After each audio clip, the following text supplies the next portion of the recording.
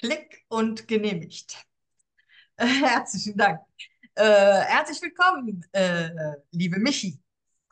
Wir haben ein Interview mit einer von zwei. und ähm, ich begrüße dich ganz herzlich hier und vielen, vielen Dank, dass du etwas von deiner Zeit an mich und meine Hörer abtrittst.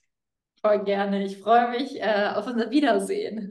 Ja, vielen, vielen Dank. Also das war wirklich, du bist so eins von den Beispielen. Ich liebe das so, wenn ich so einen Riecher habe äh, und du hast dich ja wirklich bombig entwickelt, muss man ja so sagen, seit wir das letzte Mal miteinander zu tun hatten, so hier online. Ganz, ganz toll. Liebe Michi, das Buch, was in der Leseliebe war vor zwei Wochen, nennt sich Unter Affen ähm, ist schon das zweite Buch von Michi und ähm, das hat sie gemeinsam mit ihrem Mann geschrieben. Ja. Und ähm, Frage Nummer eins an Michi. Ähm, hast du den Mann gesucht oder äh, habt ihr euch gefunden? Ähm, wir haben uns tatsächlich gefunden und zwar beim Tanzen. Also wir kommen beide aus dem gleichen Ort, kannten uns aber nicht, weil Marc ist ja ein Stück älter, also Marc ist ja über acht Jahre oder acht Jahre älter. Ähm, und wenn ich auf dem Spielplatz war, war der auf dem Bolzplatz, ging ich auf dem Bolzplatz, war der im Jugendraum, war ich im Jugendraum, war der schon wieder aus dem Jugendraum raus. Also wir haben äh, viele Jahre erfolgreich aneinander vorbeigelebt und vor acht Jahren hat sich in unserem Ort eine Tanzgruppe gefunden zusammen. Also da ging es darum, wir Gardemädels, ich komme ja aus dem Kölner Eck, sage ich mal, einer schon von Köln entfernt, aber der Einfluss ist weit. Ähm, die Gardemädels und die Jungs wollten eigentlich ein Männerballett tanzen, also wo nur Männer zusammen tanzen. Spaßeshalber. Und unsere Trainerin hat aber gesagt, die macht nur eins und ob wir die Gruppen nicht zusammenlegen wollen. Also, dass die Mädchen mit den Jungs Showtanz machen. Und dann wählt man sich halt so Mottos aus. Und unser erstes Motto war Tarzan. Und ja, irgendwie haben wir uns dann gefunden. Was cool, sehr, sehr schön. Ja, ich liebe meine Fragen, wenn sie denn treffen. Gut. Ähm, und das, jetzt habt ihr also nicht nur zusammen getanzt, sondern dann habt ihr auch noch eine Hochzeitsreise gemacht, weil äh, das macht man ja so. Aber das macht man eigentlich, oder Mann, ne? Wer, wer ist schon Mann? Ihr habt es irgendwie anders gemacht. Ja, also man muss halt sagen, Marc und ich, wir haben richtig schnell geheiratet. Nach zehn Monaten dachten wir irgendwie, ja, wir haben jetzt mal Zeit. Und wir haben auch sehr unkonventionell geheiratet, nur zu zweit. Ähm, wir waren ein paar Tage später mit unseren Eltern essen, aber eigentlich auch nur, weil uns, also wir wollten mit unseren Großeltern, für die fanden wir das so besonders. Unsere Eltern waren so, ja gut, die holen wir dann auch mit. Und äh, dann haben wir so gesagt, dass wir unsere Flitterwochen in Südafrika machen. Denn äh, ich bin ja mittlerweile seit neun Jahren im Wildtierschutz in Südafrika unterwegs. Ich arbeite da mit Affen, wir ziehen verletzte und verwaiste Tiere auf und wildern die aus. Und für Marc war es ein ganz großer Wunsch, da mal hin mitzukommen. Und ich habe mir natürlich auf der einen Seite immer gewünscht, dass jemand mitkommt. Auf der anderen Seite musste ich sagen, wollte ich es auch nie. Also es musste schon wer Besonderes sein, weil ich hatte immer Angst, dass wenn Leute mitkommen, dass sie mir meinen Ort kaputt machen. Ich weiß nicht, ob du das kennst, dass du so Orte hast, wo du ganz verbunden mit dir bist. Und dann hat man ja auch manchmal Angst, andere Menschen mitzunehmen, weil man so denkt, die könnten das kaputt machen oder die Erfahrung, die man sonst immer da hat. Marc war halt der erste Mensch, bei dem ich gesagt habe, mit dir würde ich das zusammen machen. Und dann dachte ich, ja gut, da können wir ja auch direkt heiraten. Und deswegen haben wir tatsächlich äh, Flitterwochen als Freiwilligenhelfer gemacht in Südafrika. Also ja, so umgekehrt. Also erst die Hochzeitsreise geplant und dann, ach, dann können wir auch heiraten. ja, das war irgendwie alles, äh, das alles chaotisch. Ich wollte ja Marc fragen, also der eigentliche Plan, der steht auch nicht im Buch, hat er auch in keinem Podcast erzählt, jetzt absolute Premiere. Der eigentliche Plan meinerseits war tatsächlich, wenn Marc tatsächlich mit mir nach Südafrika kommt, also wenn ich das will und er das auch, dann frage ich ihn da, ob er mich heiratet. Mhm. Das heißt, diese Reise war irgendwie schon angedacht und dann dachte ich mir, ja Gott, selbst ist die Frau, ich lebe doch nicht im 13. Jahrhundert, ne? was ich will, das hole ich mir. so straightforward. Und dann dachte ich, ja, wir sind dann ja auch erst ein Jahr zusammen, also wird das schon hinhauen. Früher fragt er ja eh nicht, weil Marc ist ja eigentlich total der rationale Typ. So mindestens zwei Jahre zusammen, bevor man zusammenzieht. Nach drei Jahren, acht Monaten kann man über die Hochzeit, also eigentlich ist bei dem alles stringent nach Regeln. Dann waren wir aber nach fünf Monaten zusammen in Australien und weiß der Geier, warum hat er mich gefragt, ob ich ihn heiraten will. Und dann wurde die angedachte Südafrika-Reise zur Hochzeitsreise. Aber eigentlich wollte ich Marc da fragen, ob er mich heiraten will. Und einen Tag nach der Hochzeit, also nach dem Antrag, war ich auch echt ein bisschen beleidigt. Und hast so gesagt, du kannst man dich jetzt, jetzt nicht einfach fragen, ob ich dich heiraten will. Er so, warum nicht? Ist doch nur eine Frage. Und ich so, ja, aber ich wollte dich fragen. Naja, und dann haben wir es einfach zur Hochzeitsreise gemacht. Ja, sehr, sehr schön. Äh, am liebsten würde ich dir ja jetzt ganz andere Fragen stellen als. Äh, ich frage, was intuitiv kommt. Das sind die besten Gespräche. nee, weil ich will ja so einen äh, so Eheführerschein äh, plane ich, ja? Ne? Ähm, damit nicht so viele unbewusste Leute heiraten. Wobei, ihr seid natürlich nicht unbewusst, aber ich wollte jetzt mal so, ne? Und wenn man nach zehn Monaten heiratet, dann entweder ist das dann eben so, ähm, und dass das passt oder man hat sich überlegt oder wie auch immer. Oder es sind vielleicht auch so Menschen wie, wie, wie ihr, die im Moment leben. Mhm. Und äh, wenn es dann, was weiß ich, in 20 Jahren nicht mehr so ist, haben die auch kein Problem damit. Das stimmt. Ja? Also für mich war, glaube ich, das Wichtigste, ich habe wirklich so eine Momententscheidung getroffen und ich dachte mir, es gibt nie eine Sicherheit. Ja. Ähm, was ja. aber auch bei mir und Marc von vornherein klar war, musst du lachen, ähm, wir hatten nicht so, ich weiß nicht, das kennt man ja bei Paaren, dass es so Schamthemen gibt. So, man spricht nicht offen über Geld, man spricht nicht offen über Kinder, man spricht nicht offen über Sexualität, man spricht irgendwie über ganz viele Themen nicht offen und plötzlich ist man verheiratet und nach drei Jahren Ehe stellt man fest, wie wir müssen, wenn wir zusammen bauen, über Geld sprechen, wie wir müssen das Thema Kinder. Und das war halt bei uns von Anfang an nicht so. Ich bin halt einfach ziemlich offen und Marc hat auch einfach über alles sehr offen mit mir geredet. Und das heißt, keine Ahnung, ich habe so nach zwei Monaten Beziehung haben wir einfach so gesagt, okay, das sind die Themen, ich habe da keinen Bock, dass wir fünf Jahre warten, bis wir jetzt erstmal darüber reden. Also, na, wie stehst du denn dazu? Und das war halt gut. Wir haben uns zwar im Laufe der Zeit auch zu diesen Themen immer mal wieder verändert und wie unsere Sicht auf gewisse Dinge ist. Aber ich glaube, immer wieder im Austausch zu bleiben, ist das Wichtigste. Also diese Kommunikation. Und dann entsteht auch nicht so eine Unsicherheit, sondern einfach dieses Gefühl, weißt du, jetzt passt's. Und äh, wie wir uns in 20 Jahren verändern, weiß eh niemand. Aber für jetzt ist es die beste Entscheidung, die wir treffen können. Wunderschön. Und der Podcast heißt ja auch meine beste Entscheidung. Also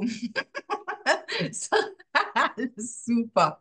Äh, sehr, sehr schön, weil ähm, genau das ist das, ne? Wenn, ähm, wenn man Sicherheit gibt es eh nicht. Und äh, deswegen reden hilft schon. Ne? Und toll.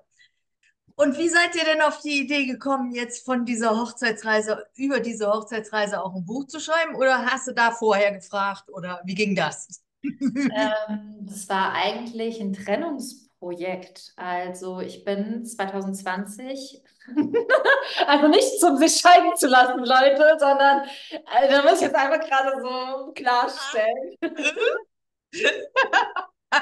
Schreibt ein Buch, wenn ihr euch scheiden lassen. Nein. Also, ähm, Marc und ich, dadurch, dass ich am Ausland arbeite, wir haben extrem viele und auch längere Trennungsphasen, wo ich vielleicht mal zwei, drei Monate weg bin und mhm. ähm, nicht zusammenleben. Oder ich habe ja auch ein Jahr in England gewohnt, eher in Deutschland. Und für diese Trennungsphasen suchen wir uns halt immer wieder Projekte. Und kurz bevor ich damals nach Südafrika 2020, also ein Jahr nach unseren Flitterwochen, kurz bevor ich da nach Südafrika bin, haben wir den Film wie ein einziger Tag geguckt von Nicholas Sparks. Ich weiß nicht, ob du den kennst. Ja. Und dann lesen die sich ja im Alter dieses Kennenlerngeschichte und der und dann ich bin ja so, ich mich inspiriert das dann habe ich gesagt, ja, warum machen wir das nicht auch einfach, wenn wir das doch so süß finden, dann dann machen, machen wir das doch jetzt einfach. Und Marc dachte so, okay, ich kann doch kein Buch schreiben, das, wär, das muss ja niemand lesen außer mir, habe ich damals gesagt. Hat sich dann als anders rausgestellt. Und dann war es tatsächlich so, als ich dann nach Südafrika bin, habe ich das erste Kapitel geschrieben, ich habe es ihm dann rübergeschickt und er hat mir immer die Antwort geschickt. Und so kam das dann einfach, dass das daraus entstanden ist. Und das Buch, in Anführungszeichen, war ja auch schon im April 2020 zu Ende geschrieben, also vor vier Jahren. Ja. Dann hat das vier Jahre auf unserer Festplatte vegetiert. Mhm. Und nachdem Unbändig ja schon relativ erfolgreich als Buch war, habe ich dann so zu Marc gesagt, komm schon, es wäre eine perfekte Fortsetzung, sollen wir uns da nicht einfach mal gucken, ob jemand das spannend fände, weil es ist witzig, es ist humorvoll, die Leute können viel für sich mitnehmen, es macht Spaß. Und dann hat er gesagt, ja, wir können ja mal Bewerbungen rausschicken, weil bei meinem ersten Buch hat es über ein Jahr gedauert, bis ein Verlag zugesagt hat.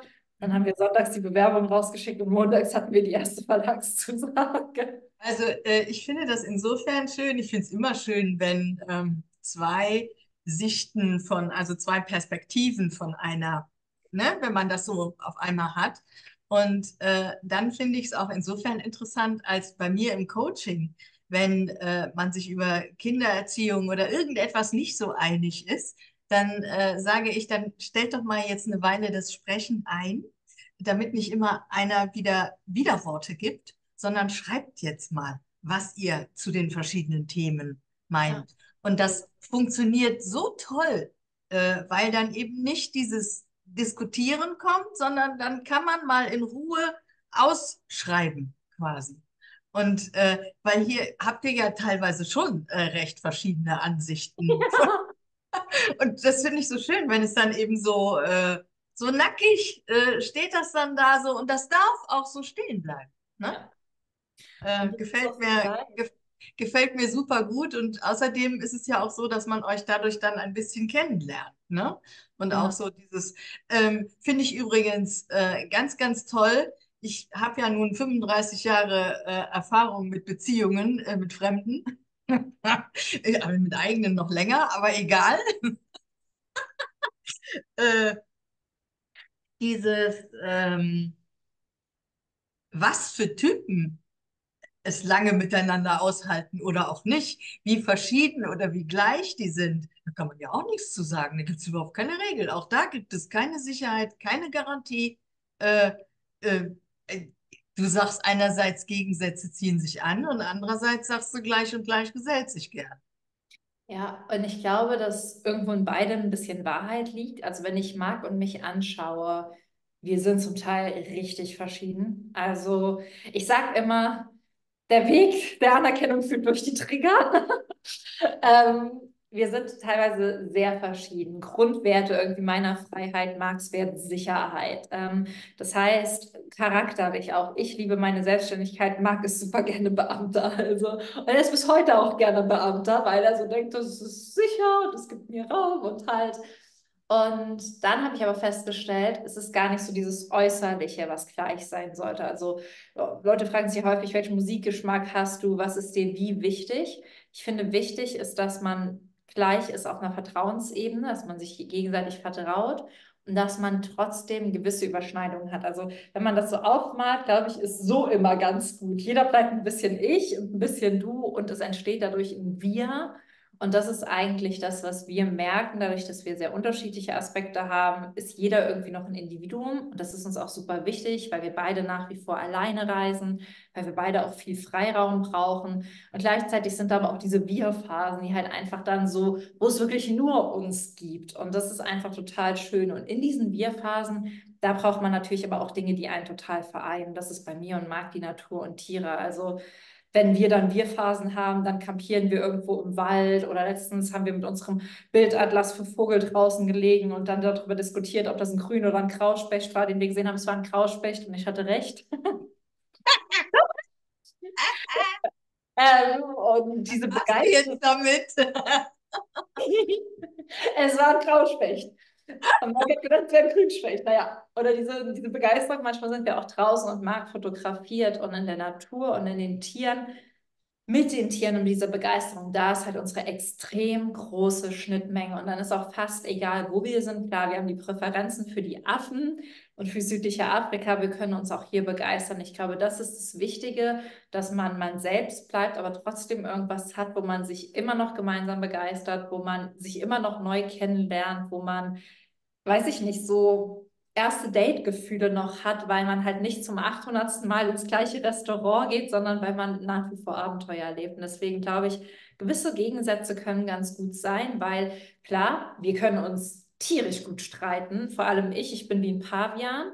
Ich habe eine richtig kurze Zündschnur wirklich. Also Marc ist wie eine Meerkatze, geduldig, ruhig und diplomatisch. Und ich bin wieder Pavian. Wenn es ganz schlimm ist, dann Paviane sind ja wirklich so, wenn die sich ärgern, dann können die sich richtig schnell total ärgern. Und dann ist einmal so Rundumschlag und dann gehen die in ihre Ecke, beruhigen sich. Und ich gehe jetzt immer vorher schon in meine Ecke und sage immer, Marc, ich gehe jetzt ins Büro. Und dann muss ich mich erst mal runterfahren. dann geht's. Aber irgendwie bringt es auch manchmal ein bisschen Leidenschaft rein. Deswegen freue ich mich über unsere Gegensätze und auch über die Spannungen ab und an. Und wir haben auch keine Angst, uns mal zu streiten oder verschiedener Ansicht zu sein. Aber diese Übereinstimmungen sind auch einfach wichtig. Und äh, ja, es ist eigentlich eine ganz coole Kombi. Also ich würde es immer wieder so wählen. Kann ja, ich, ich kann es persönlich so empfehlen, aber äh? ich habe einen einfacheren Partner. Mich selbst könnte ich jetzt nicht daten, muss ich gestehen. Ja, aber schau mal, das ist genau, äh, da kommt jetzt so äh, im Hintergrund etwas raus, was du nicht gesagt hast. Ähm, wer sich selbst liebt und gut kennt, ähm, dem fällt das ja alles viel leichter. Ne? Äh, wer ohne Maske unterwegs ist und ehrlich und offen. Äh, da ist auch, da ist die Sicherheit relativ groß, dass äh, es auch in irgendeiner Form funktioniert. Was ich sehr schön fand, war dein Bild. Ich benutze ja die liegende Acht von der Sabine Askodom. Die hat mal so ein schönes Bild gemalt mit Gold und Blau. Also die, die, die liegende Acht ist Gold auf einem blauen Hintergrund. Und tatsächlich glaube ich, ähm, die meisten Ehen, die bei mir ankommen, weil es dann zu Ende ist, die sind so geführt worden. Da war überhaupt keine Freiheit mehr, keine Fülle mehr. das ist, äh, die haben versucht, eins zu werden, was, was sinnlos ist. Das, dann ne, dann gibt es keinen Mehrwert mehr. Und immer dieses blöde Thema, meine Eltern sagen das immer, ich meine Eltern ganz lieb, mache gewisse Dinge bewusst anders. Die sagen immer, also ich sage auch, manchmal geht weniger, liebevoll gesagt, Kompromisse ein. Und das ist so ein ganz süßes Beispiel bei mir und Marc. Ich liebe Fahrradfahren, Marc liebt Bootfahren. Marc liebt Wein, ich liebe Wasser. Und dann waren wir am Bodensee im Urlaub. Und Marc hatte so auf seiner Liste stehen, Weintasting mit Bootstour über den Bodensee. Und ich sagte so einmal um den Bodensee rum dem Fahrrad fahren und richtig Action. Und wir sind dann auch so fein, dass wir die Tage getrennt verbringen. Und dann habe ich zu Marc gesagt, pass mal auf, der cleverste Kompromiss, den wir einfach machen können, ist, du hast einen geilen Tag und ich habe einen geilen Tag und wir treffen uns heute Abend, da wo dein Boot endet, zum Abendessen und weiß ich nicht, erzählen uns dann beide von dem schönen Tag, den wir hatten. Das machen wir öfter tatsächlich so, dass wir klar auf gewissen Ebenen Kompromisse eingehen, aber dass wir nicht dass unser Leben kein Kompromiss wird. Und ich glaube, ganz viele Le Leute machen ihr Leben irgendwann zum Kompromiss und machen dann nichts mehr, was sie zu 100 Prozent machen wollen, weil sie Angst haben, Nein zu sagen oder weil sie Angst haben, den Partner vor den Kopf zu stoßen. Aber der Partner ist ja am allermeisten vor den Kopf gestoßen, wenn man zehn Jahre lang nur das macht, was er wollte, um ihm nach zehn Jahren zu sagen, all das wollte ich eigentlich nie, ich hätte am Bodensee vor zehn Jahren viel lieber die Radtour gemacht. Und dir zuliebe bin ich damals Boot gefahren. Und dir zuliebe habe ich die Weintasting-Tour gemacht, obwohl ich die nicht wollte. Und da auch einfach nicht die Angst zu haben, weil im Zweifel das Schlimmste, was passieren kann, ist, dass eine Beziehung nicht hält. Aber du willst ja auch nicht, dass eine Beziehung, in der du nicht du selbst sein kannst, hält. Also das war halt immer so, mein Wissen war halt immer, ich verliere lieber jemanden, der mich nicht so annimmt und akzeptiert und liebt, wie ich bin, als mich selbst. Und ich glaube, das muss die Grundlage jeder Beziehung sein und auch immer die Option zur Trennung. Also, dass man eine Trennung auch nicht als was Schlimmes sieht, sondern immer als Option da ist. Dann ist man nicht bereit, Kompromisse einzugehen, mit denen man sich nicht wohlfühlt, sagt aber auch Ja zu Kompromissen, mit denen man fein ist. Zum Beispiel gehen wir natürlich in gewissen Bereichen Kompromisse ein, aber eine Bootstour werde ich auf jeden Fall nicht am Bodensee machen. Jetzt kann ich mal was ganz Geiles ergänzen, weil ich ein Interview mit der Helene Frost gemacht habe. Die macht Human Design und da haben wir beide übereinstimmend gesagt, Kompromisse töten die Ehe. Ja. Ähm, weil äh, dann ist keiner mehr er selbst und man kann ja erst der eine, dann der andere oder der eine macht das, der andere macht das. Oder ähm, also ich bin zum Beispiel mit meinem Sohn in Skiurlaub gefahren und äh, ja, der Hund und der Mann sind zu Hause geblieben. Geht auch. Ne? Aber viel wichtiger ist, das anzubieten und zu sagen, das ist im Angebot. Ähm, kaufst du oder kaufst du nicht? Und wenn du nicht kaufst, äh, dann machst du aber keinen faulen Kompromiss, weil dann bricht irgendwas weg. Ja. Und das, das ist so. Und deswegen, dann kamen wir aus dem Bodensee heim und meine Eltern meinten, wie war der Urlaub? Und ich hatte halt im Endeffekt Zeit, den ganzen Bodensee zu umfahren. Das war so toll. Marc hatte halt Zeit, viel zu fotografieren. Wir haben uns jeden Abend getroffen, wir haben uns darüber ausgetauscht, waren dann abends irgendwie noch zusammen schwimmen und es war einfach so schön und waren auch natürlich zusammen frühstücken.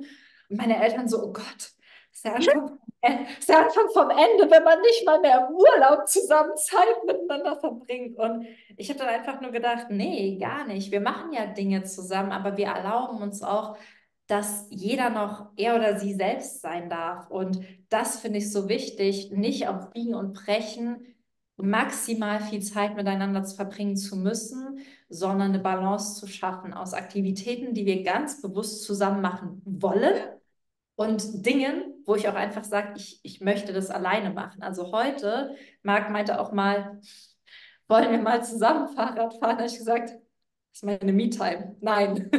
also ich will auch einfach nicht zusammen Fahrrad fahren. Ich will das alleine machen. Das ist meine Zeit, da wehen meine Haare, da fühle ich mich wie ein Kind und frei. Maximal hole ich meinen Hund mit, weil der verstärkt mein Freiheitsgefühl. Aber ich möchte mich dabei gar nicht unterhalten. Das ist mein Abenteuer für mich hier in Deutschland. Ich auf dem Fahrrad ist unfassbar schön. Könnte sein, dass da irgendwann in 10 oder 20 Jahren auch noch mal eine Variation von den Fahrradtouren kommt. Aber äh, gut, so, so die, die begleiteten Fahrradtouren. So. Deswegen, also ich kann dir da nur zustimmen und Menschen Mut machen, mhm. weniger Kompromisse ja. anzugehen. Ähm, und wenn man mit was aber auch fein ist, ich sehe das halt super oft so, dass Menschen so lange Kompromisse eingehen, ja. auch denen sie sich nicht wohlfühlen, bis mhm. sie gar nicht mehr irgendwie bereit sind, auf die andere Person zuzugehen. Und diese beiden Extremen, das ist, glaube ich, einfach das Problem. Ja. Und von vornherein die Balance, ja. da liegt Leichtigkeit irgendwie drin und Interesse.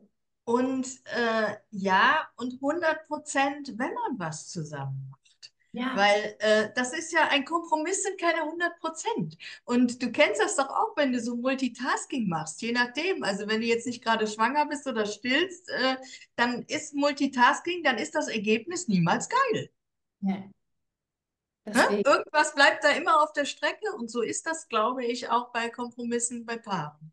Ja, und einfach auch, wenn du dann mit dem Partner zusammen bist, diese Präsenzzeit genießen, weil, naja, wir müssen halt auch, ich muss das auch einfach so sagen, wie ich das finde, wenn ich ja 24-7 rund um die Uhr nur Zeit mit meinem Partner verbringe, dann passiert da ja auch nichts mehr. Und dann ist es ja auch kein Wunder, dass es vielleicht langweiliger wird, wenn man sich nichts mehr zu sagen hat, weil man alles immer zusammen macht und ähm, wenn man aber auch immer wieder Raum für sich hat und zusammenkommt, ist man mit einem ganz anderen Fokus dabei.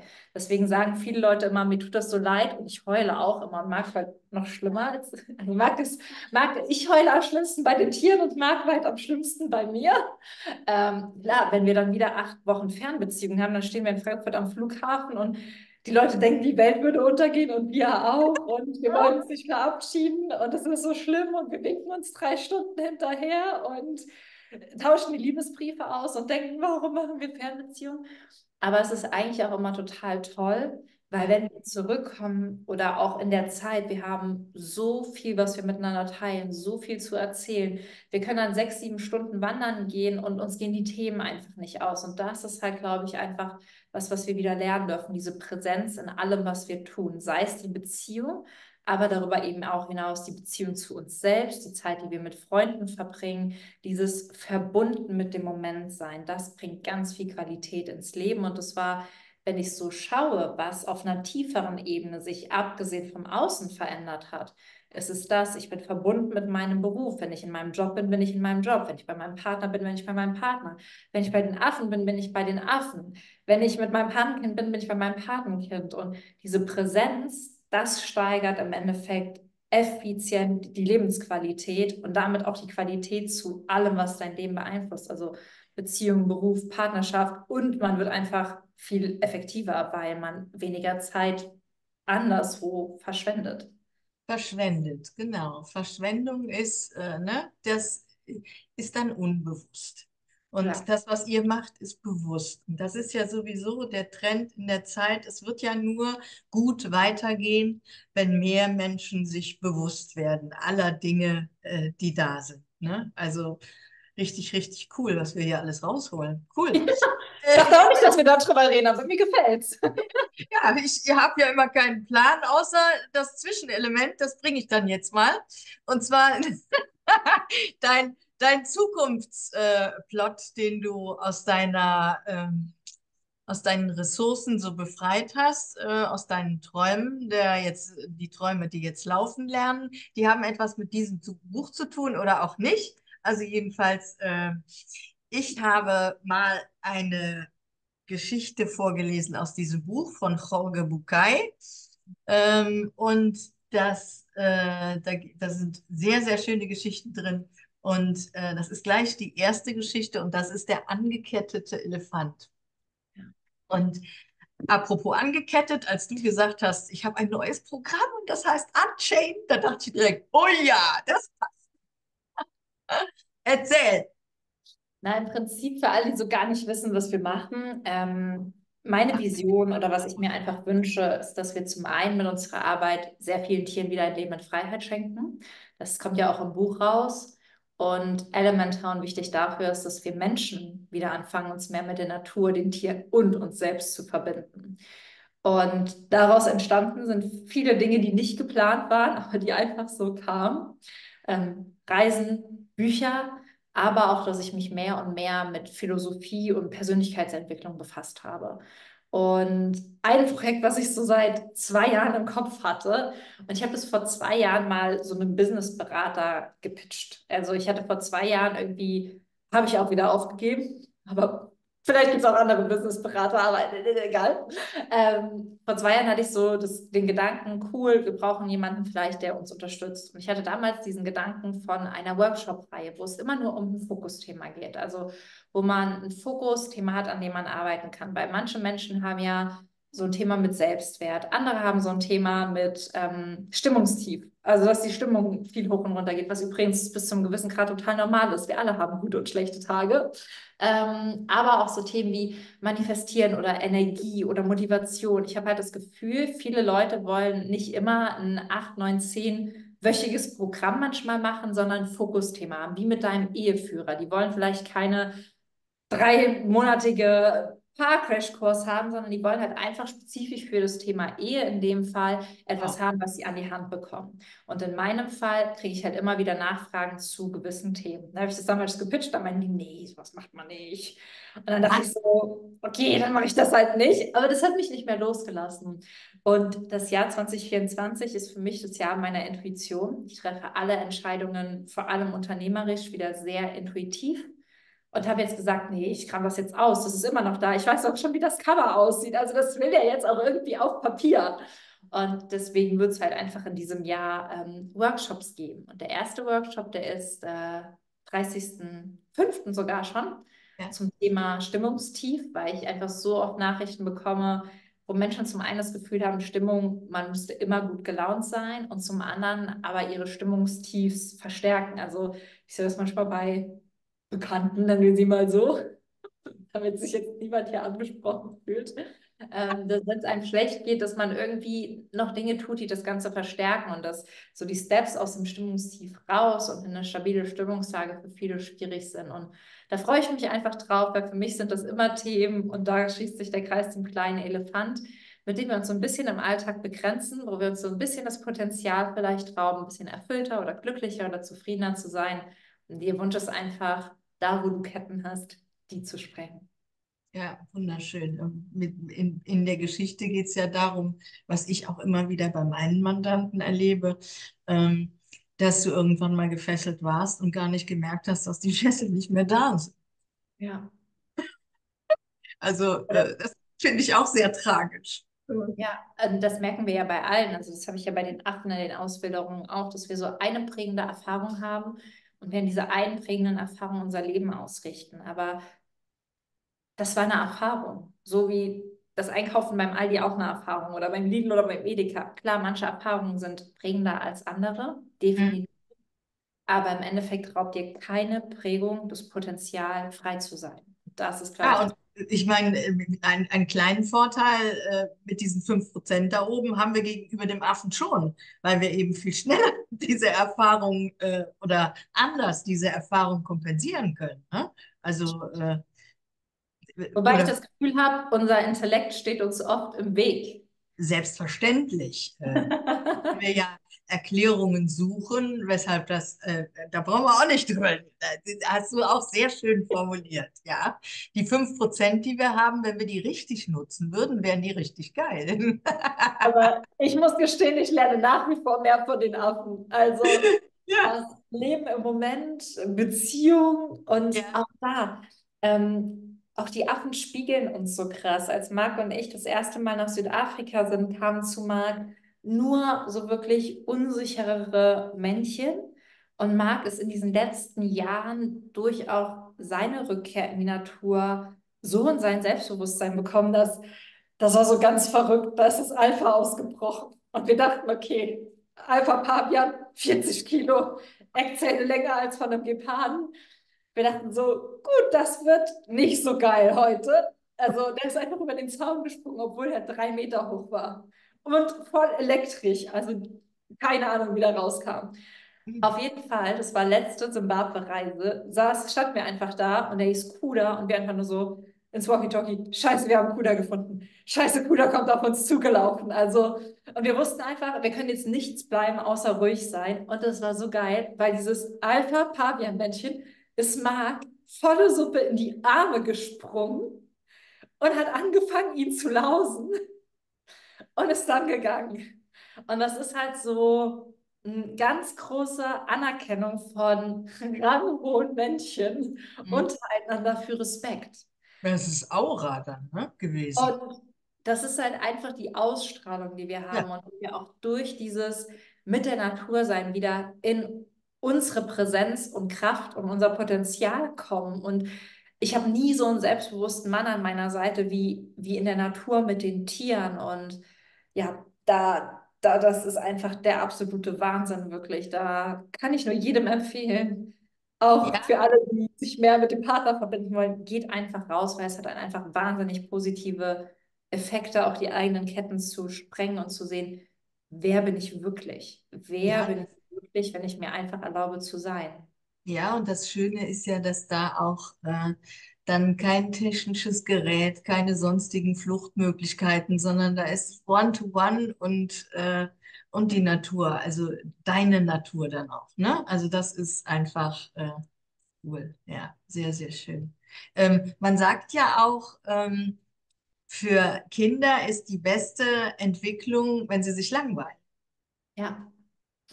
Und das ist halt super, weil Langeweile birgt Kreativität. Ich weiß nicht, ob du ähm, Überraschung im Café am Rande der Welt gelesen hast von John Strelecki. Ich habe äh, einen halben Meter, John. Okay. Und ähm, in diesen Momenten der Langeweile wird die Kreativität gefördert und bei uns allen. Und wir Menschen, wir hängen aber viel zu viel am Handy, um wirklich wieder zu kreativen Ideen zu kommen. Und das ist so wichtig und auch eins der Dinge, die ich immer wieder merke. Klar habe ich vor Ort mein Handy irgendwie an mir für Notfälle, aber wie oft habe ich da kein Internet oder was auch immer, kein Signal und wie oft vergesse ich mein Handy auch einfach irgendwo. Ich meine, das passiert mir auch im Alltag mittlerweile andauernd. Aber es ist einfach dieser Moment, sich mal nicht erreichbar zu machen und wieder bei sich selbst anzukommen. Das finde ich halt einfach so wichtig und das ist auch für eine Beziehung total wichtig, weil wie oft sitzen wir irgendwo im Restaurant und die Leute, die neben uns sitzen, sind beide am Handy und ich denke mir, ey, wenn das euer Date des Monats ist, dann legt doch eure Handys weg. Noch viel schlimmer finde ich die Mütter mit Kinderwagen. Ja, und das ist, das ist signifikant. Also Kinder bauen ja extrem viel Sicherheit durch Blickkontakt auf. Ähm, und dieser Mangel an Blickkontakt, das wird total unterschätzt, ähm, beeinträchtigt das Urvertrauen extrem, auch bei unseren Affen. Der Blickkontakt und die körperliche Nähe, darüber gewinnen Kinder Sicherheit. Gerade Kinder in der, oder unsere Affenkinder, in der explorativen Phase, wenn die so anfangen zu klettern, du siehst die ganze Zeit, dass sie zurückschauen, ob du die im Blick hast, ob du, ob die lesen ja über deine Körpersprache, ob die das jetzt machen können oder nicht, ob das gefährlich ist oder nicht, ob du in Erreichbarkeit bist oder nicht. Und dieser Mangel an Blickkontakt durchs aufs Handy gucken, ist ganz, ganz schwierig, um für Kleinkinder ihre Umgebung zu erkunden, weil die auf unser Feedback angewiesen sind. Und das sehen wir bei Affen auch. Wenn ich da am Handy hängen würde, dann würde ich meine Affen nie auswildern können, weil die nie Sicherheit in dieser Welt finden würden. Und der gut erzogene Hund, ich bin ja hier, ich lebe meine Lebensgemeinschaft, äh, wir sind ja äh, zwei Hunde und ein Mensch im Moment. Und äh, wenn der Hund, äh, jeder schlecht erzogene Hund guckt nicht nach seinem Herrchen, sondern macht sein eigenes Ding. Und äh, der gut erzogene Hund guckt immer. Und der Blickkontakt ist ja beim Hund auch das A und O. Also auch jetzt nicht erzogen, sondern ich meine gut be bezogen. Ja. Äh, falsch formuliert, ne? Aber Hunde, die halt einfach mit ihrem Herrchen oder Frauchen verbunden sind. Ja. Die, die wissen, wer Teil des Rudels ist. Weil mein Hund, okay, ich habe auch nur einen 2-Kilo-Hund, aber mein Hund läuft immer ohne Leine. Also außer in Großstädten, aber ich wohne auf dem Land und ich gehe mit Pocky immer ohne Leine, weil ich weiß, die hört die ist halt da. Wenn ich die rufe, kommt die. Wenn die sitzt, sie sitzt. Die ist halt einfach da. Mhm. Und wir sind halt ein Team. Pocky läuft auch bei mir neben dem Fahrrad halt einfach her. Und es, es macht keine Probleme. Ich muss sagen, Marc muss sie hin und wieder anleihen, weil Pocky ist ein bisschen frech. Und wir haben uns also schon ausgeklüngelt, dass Pocky weiß, aber Marc ist manchmal noch ein bisschen überfordert mit seinen wilden Mädels. Ja, sehr schön. Ja, die, die da hinten an der Wand hängt, die hatte ich auch tatsächlich 13 Jahre ohne Leine. Da konnte ich auch, was weiß ich, nach Hamburg in die fremde Stadt fahren, durch eine Fußgängerzone, äh, vor, äh, vor irgendeinem Kaufhaus oder Laden gesagt, äh, bleibst du da. Äh, das, also so ein Hund, äh, keine Ahnung, wie das passiert ist. Also es lag mit Sicherheit nicht an meinen Fähigkeiten, sondern nur an der Bindung. Ne? Also Erziehungsfähigkeiten habe ich keine. Ich habe jetzt Hund Nummer 7 und 8. 7 funktioniert, 8 funktioniert nicht. Äh, hat, ist, äh, wie soll ich sagen, wie heißt das bei Kindern, äh, hyperaktiv und ne, die dreht sich gelegentlich zu mir um, aber wenn ich nicht mehr da bin, ist auch nicht schlimm. Dann guckt sie wieder nach vorne. ist auch eine Typfrage dann, glaube ich. Äh, das ist auch nur eine Ausrede. Also, man sagt ja auch, je mehr Kinder, desto weniger streng wird man in der Erziehung. Gut, meine Liebe, ich glaube, wir haben jetzt nichts vergessen. Ich könnte mit dir ja immer tagelang, solange wir immer ein paar Jahre vergehen lassen, ist das, glaube ich, ganz prickelnd, was wir hier liefern. Ich hoffe, ähm, dass die Menschen äh, was davon hatten. Du hast gesagt, 30.05. geht's los. Ich kriege dann noch irgendwie einen, einen Buchungslink. Ja, also es kommt ja immer wieder im Laufe des Jahres, wenn das jetzt für irgendwen da nicht passt, schaut einfach immer mal wieder bei uns rein oder auf Insta, da kündige ich das an. Und dann äh, können die Leute gucken, was für sie passt, was für sie nicht passt. Sich einfach mal durch unsere Welt stöbern. Und ich bin da eigentlich immer ziemlich im Vertrauen, dass die Leute das finden, was sie wollen. Also manche wollen lieber Reise, manche lieber Kurs, manche wollen nur Affenbilder gucken. Hauptsache, du hast deinen Spaß. Ja, mein Patenkind ist jetzt schon, ich weiß nicht wie viele Jahre alt und ist schon in der Wildnis, ne? Fällt mir jetzt gerade so ein. Gut, ähm, Sonntagmorgen um 8, es ist heute der 21.05. und Sonntagmorgen um 8 geht dieser Podcast online.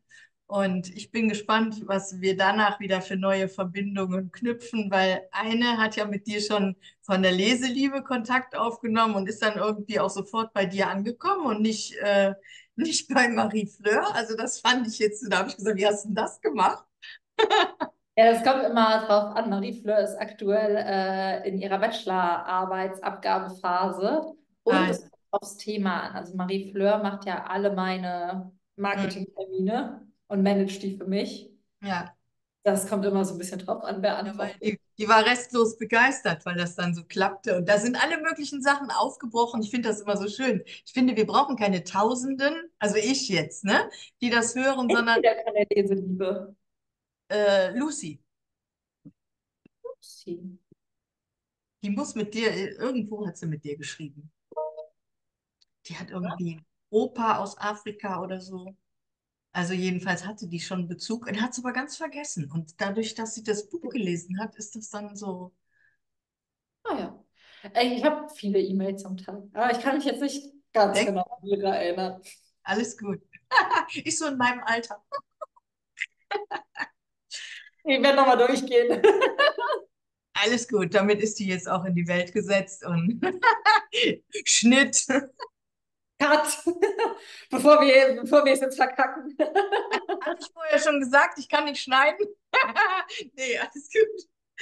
Äh, meine Liebe, ich wünsche dir von Herzen alles, alles Gute. Ich äh, freue mich, wenn wir uns mal wieder in echt sehen. Das fände ich jetzt auch mal wieder schick, aber ich mag nicht mehr so große Veranstaltungen, sonst würde ich ja sagen, du bist ja wahrscheinlich bei Greater wieder dabei, schätze ich. Nein? Dieses Jahr nicht. Wir sind äh, in Südafrika für die hoffentlich Grundstücksübernahme.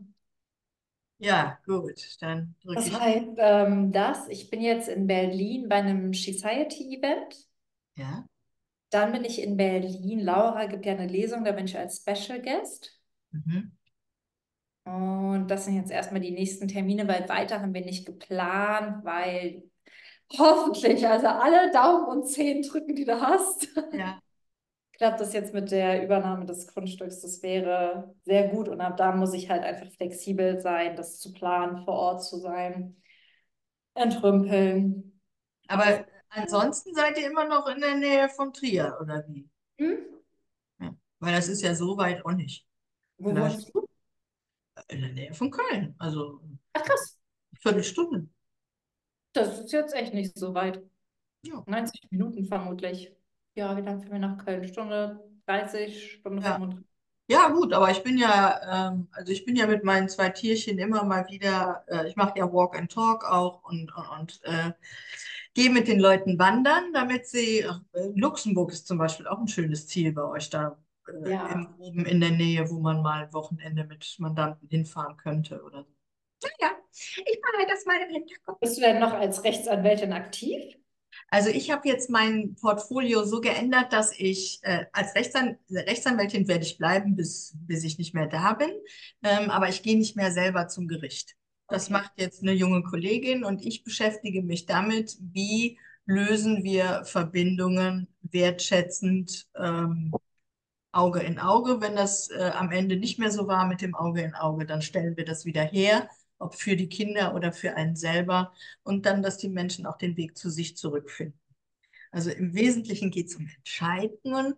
Ähm, neue Entscheidungen kannst du zum Beispiel auch treffen, wenn dein Mann gestorben ist. Was mache ich jetzt mit dem Rest meines Lebens? Alle so eine Sachen, also mit 60 plus, ähm, macht mir das auch Spaß, den Leuten dann nochmal ähm, eine andere Perspektive zu zeigen und ähm, mal zu gucken auf dem Tablett, was, was wäre eigentlich sonst noch möglich. Ja, mega gut. Ja, Ich glaub- Ich glaube, weil so viele Trennungen verlaufen ja so unschön und da leiden ja am Ende alle Beteiligten drunter. Also das Paar, mögliche Kinder, Hunde, die Körper. sind. Alles. Körper, Gesundheit.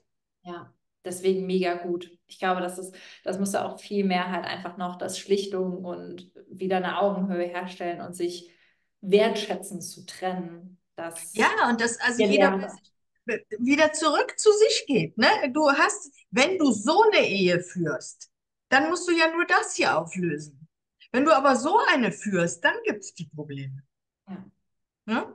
Oder wenn halt einer so über den anderen drüber, wenn man nicht mal sich in der Mitte getroffen hat, sondern hier war der eine und man hat sich einfach draufgelegt, um alles recht zu machen. Ja, Ja, das ist ja noch. Ja, okay. ja aber ich kenne das auch. Also ich, ich, ich sehe das auch immer wieder in Beziehungen, wo sich ein Teil komplett verliert. Ja. Äh, ich, ich, äh, wo du diesen Satz sagst, äh, habe ich einen wundervollen Mandanten gehabt, der, äh, ich liebe ja, was heißt ich liebe ja, aber Männer, die weinen können, finde ich schon gut. Ne? Und äh, wie der dann sagte, also ich, ich, ich verstehe es nicht, ne? Ich habe ein Haus gebaut für Frau und Kinder und so weiter und so weiter. Und irgendwo habe ich mich verloren. War so die Zusammenfassung von der Ehe. Und das war schon, äh, fand ich schon, schon schlimm, ne? Ja. Deswegen sehr cool. Wir bleiben auf jeden Fall in Kontakt. Ich freue mich, verlinkt mich bitte, ähm, sobald die Podcast-Folge online kommt, dann kann ich das. Ich schreibe nochmal mit äh, Marie Fleur, was wir da reinschreiben und äh, wir nehmen dir das alles ab. konzentriere dich auf die wesentlichen Sachen. Du, der Nächste wartet. Ja, 16.01 Uhr. Und wir sagen noch, oh, 16 Uhr, das kriegen wir locker hin. Nicht? Ich freue mich. Ich drücke dich auf, auf der Ferne. Mach's gut.